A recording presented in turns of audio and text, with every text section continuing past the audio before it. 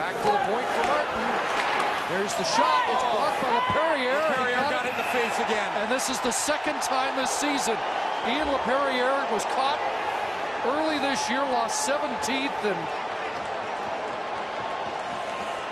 there'll be concern on that Flyer bench as it's happened once again.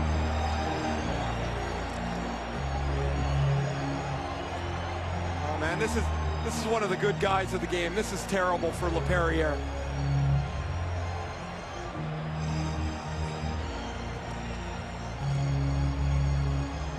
I've mentioned before, I played with LaPerriere with the Rangers and with Los Angeles. He's as tough as they come. See the reaction of the woman behind Peter Laviolette that uh, obviously is as gruesome as you might expect from a slap shot to the face. And the New Jersey fans even pay tribute to his courage.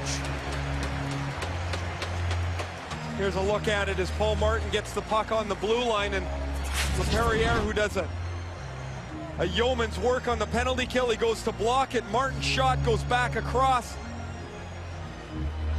the seam and it hits LaPerriere just underneath the helmet.